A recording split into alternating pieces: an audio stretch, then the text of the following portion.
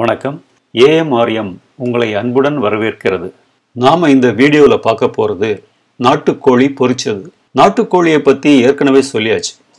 இருந்தாலும் நான் வெஜிடேரியனில் ஏதாவது ஃப்ரை சாப்பிடும்போது கூடவே ஒரு வெஜிடேரியன் ஐட்டமும் எடுத்துக்கிட்டிங்கன்னா திகட்டாமல் இருக்கும். இன்னும் கொஞ்சம் நிறைய சாப்பிடலாம். ஓகே? சரி வாங்க. செய்முறையை பார்ப்போம். முந்நூறு கிராம் நாட்டுக்கோழி நூறு கிராம் சின்ன வெங்காயம் கொஞ்சம் பூண்டு ஒரு துண்டு இஞ்சி மூணு பச்சை மிளகா ஒரு டீஸ்பூன் மல்லி மிளகா சேர்த்து பிடிச்சது கால் டீஸ்பூன் கரம் மசாலா கொஞ்சம் மஞ்சள் தூள் தேவைக்கு உப்பு நாலு டேபிள் ஸ்பூன் தேங்காய் எண்ணெய். தேங்காய் எண்ணெய் வாசனை பிடிக்கலன்னா சன்ஃப்ளவர் ஆயில் ஊற்றிக்கலாம்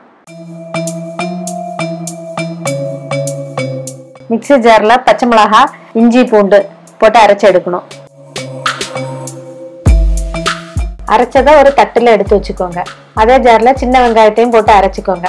வெங்காயம் எவ்வளவு போடுறீங்களோ அந்த அளவுக்கு பொடி வரும். அந்த பொடி டேஸ்டாகவும் இருக்கும்.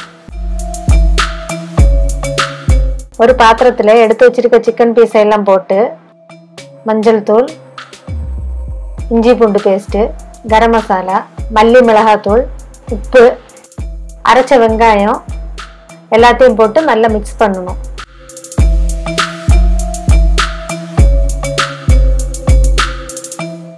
காரம் பத்தலைன்னா எக்ஸ்ட்ரா மிளகாத்தூள் போட்டுக்கலாம். இதில் காரம் பத்தல அதனால எக்ஸ்ட்ரா போடேன் நல்லா மிக்ஸ் பண்ணி அரை மணி நேரம் ஊற வைக்கணும்.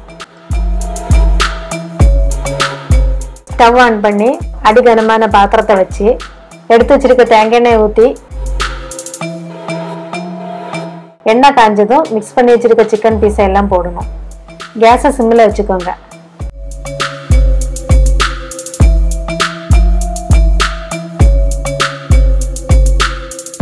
ஒரு அஞ்சு நிமிஷம் ஆனதுக்கு அப்புறம் திருப்பி போடணும். நாலு டேபிள் ஸ்பூன் எண்ணெய் பத்துல அதனால இன்னும் கொஞ்சம் ஊத்துறேன். இடையில ரெண்டு மூணு வாட்டி திருப்பி போட்டுக்கோங்க. அவ்வளோதான் சிக்கன் பொரிச்சது ரெடி